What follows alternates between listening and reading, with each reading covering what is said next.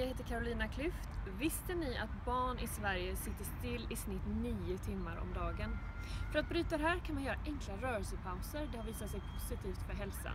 Och nu ska jag ge ett exempel på det. En klassiker, idioten. Hur gör man den då? Lägg ut en startlinje. Ta ett par skor eller vad ni har. Släng ut.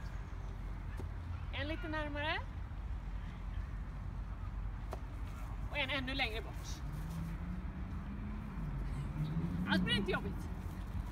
Spring fram till första, tillbaka till andra, tillbaka. Så håller man på så.